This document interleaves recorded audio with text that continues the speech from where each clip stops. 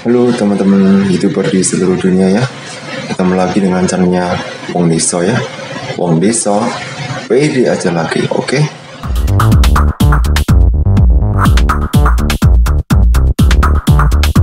Pada video kali ini Wong Deso akan memperlihatkan pertumbuhan dewa saya ya.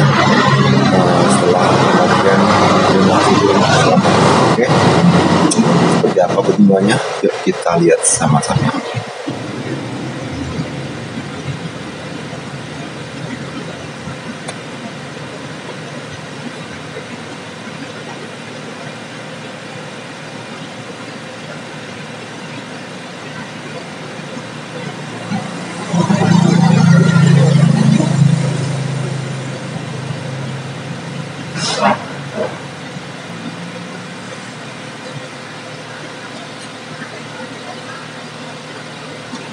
jadi seperti itu ya teman-teman ya pertumbuhannya.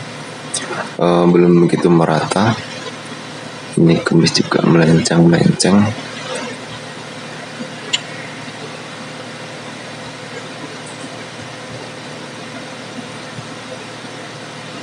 Konektornya juga belum mm, nyambung ya guys ya.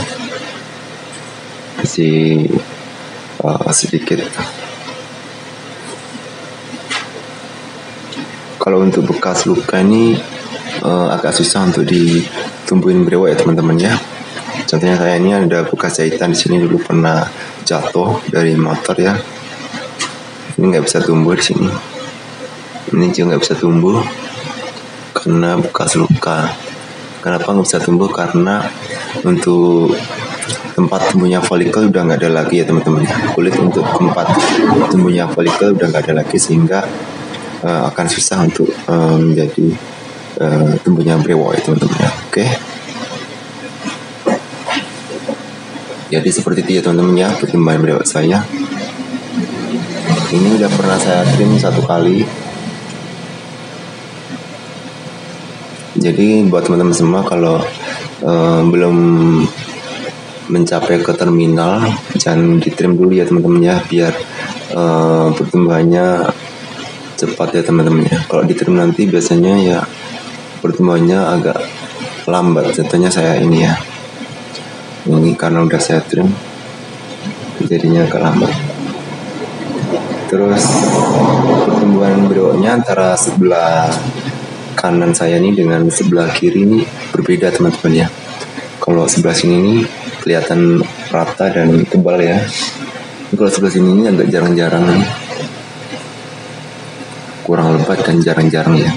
Mungkin karena kan karena setelah saya ngoles minum itu kan uh, masih basah jadi terus saya pakai buat tidur sehingga saya kalau tidur tuh uh, miring ya teman-teman ya miring ke sini. Mungkin karena ini sering kena bantal atau apa jadi uh, agak kurang maksimal pertumbuhan brewoknya ya teman-teman ya. Oke. okay.